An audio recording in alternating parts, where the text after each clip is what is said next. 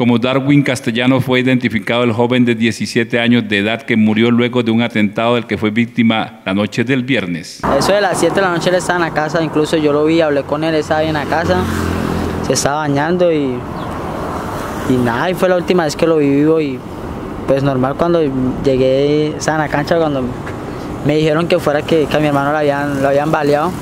Cuando llegué al lugar de los hechos ya, ya se lo habían llevado.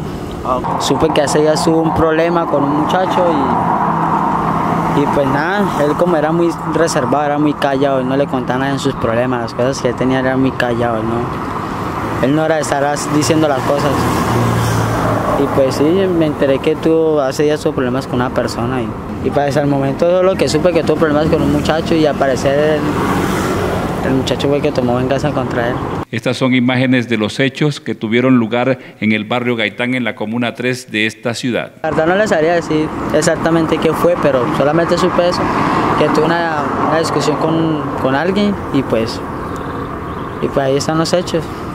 Él era muy callado, ¿no? El occiso recibió varios impactos de arma de fuego en la cabeza, siendo llevado de inmediato a un centro asistencial donde nada pudieron hacer los galenos para salvarle la vida.